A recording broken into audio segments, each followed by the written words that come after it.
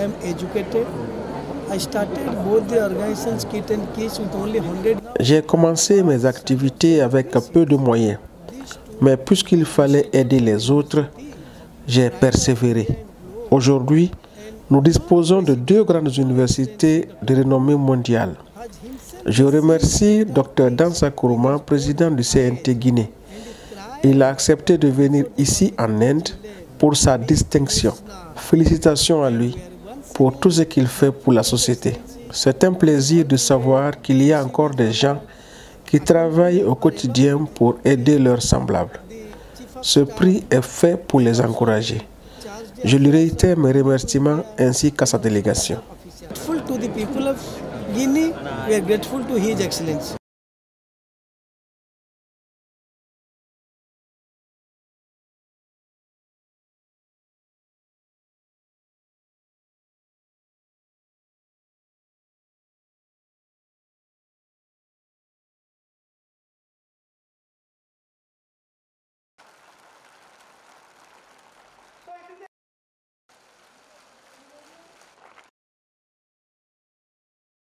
Je dédie cette haute distinction à la Guinée, à toutes les Guinéennes et à tous les Guinéens, au pays tout entier, à sa tête le président de la République.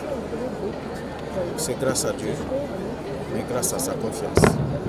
Sans cette confiance, Dieu a garanti et a donné un sens à cette confiance.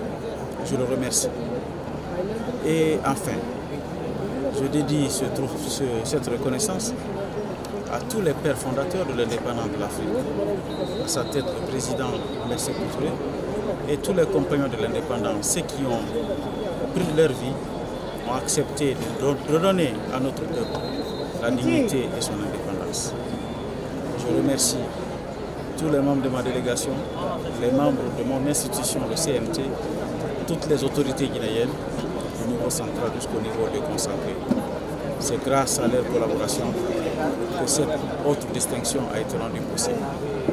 Je prie Dieu qu'il me donne la possibilité de mériter cette confiance et de me montrer toujours utile au bénéfice de ma population et de l'humanité tout entière.